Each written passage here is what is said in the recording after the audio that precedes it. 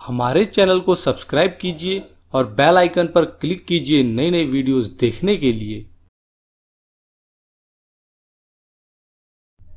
नमस्कार दोस्तों, आपका स्वागत है हमारे YouTube channel your health doctor में। दोस्तों, आज ही हमारा चैनल लाइक कीजिए, सब्सक्राइब कीजिए और शेयर कीजिए। आज हम आपको एक ऐसी चीज़ के बारे में बताने जा रहे हैं, जो आप में से अधिकतर लोगों के घर में इस्तेमाल की जाती है। आज हम आपको बताने जा रहे हैं दूध के बारे में, आखिर कैसे और कब बन जाता है? जहर, यह बात आप में से काफ़ी कम लोग जानते होंगे कि दूध भी जहर बन जाता है। हमने अक्सर यही सुना होगा कि दूध से हमें कई प्रकार के फ़ायदे होते हैं, जैसे दूध में हमें कैल्शियम मिलता है और हमारी हड्डियाँ मज़बूत होती है।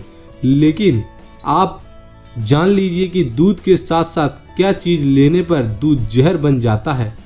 आइए आज हम आपको बताते हैं। पहली चीज़ मछली।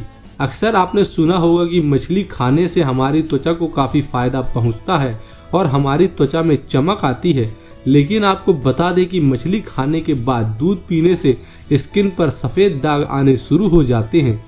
इसलिए भूल कर भी मछली खाने के बाद दूध ना पिए। दूसरी चीज़ प्याज।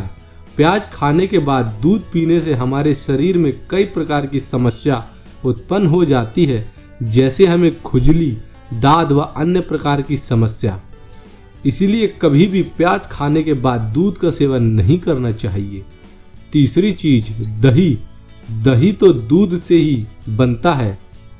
यह तो आप सभी जानते ही होंगे, लेकिन आपको हम बता दें कि दही खाने के बाद भी दूध का सेवन नहीं करना चाहिए, क्योंकि दही खाने के बाद यदि हम दूध पीते हैं तो हमारे पेट में गैस संबंधित समस्याएँ हो सकती हैं। तो दोस्तों, हमें उम्मीद है कि आज का वीडियो आपको काफ़ी पसंद आएगा। यदि यह वीडियो पसंद आए या इससे आपको जानकारी मिली हो तो इसको अधिक से अधिक लाइक और शेयर करना ना भूलें। और इसी तरह की वीडियोस देखने के लिए चैनल को सब्सक्राइब करना ना भूलें। धन्यवाद।